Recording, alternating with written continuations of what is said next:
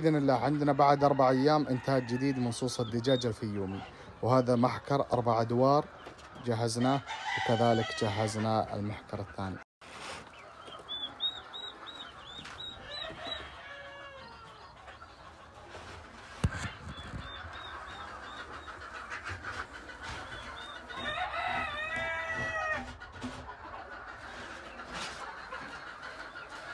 وهنا عندنا زر اللمبات هذا يشغل الخط هذا والزر هذا يشغل الخط اللي هنا.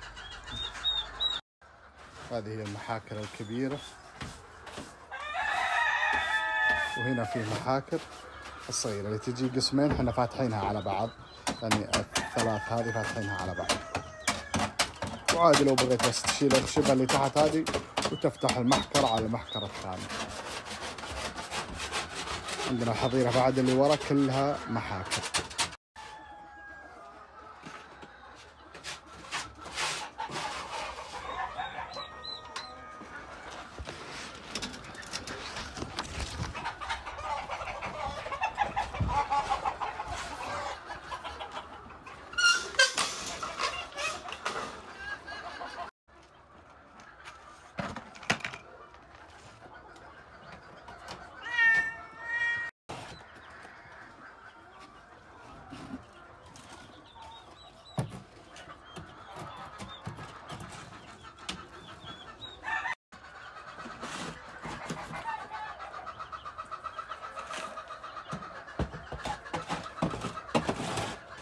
ناوي أنا الصيصان لكن الباب مسكر.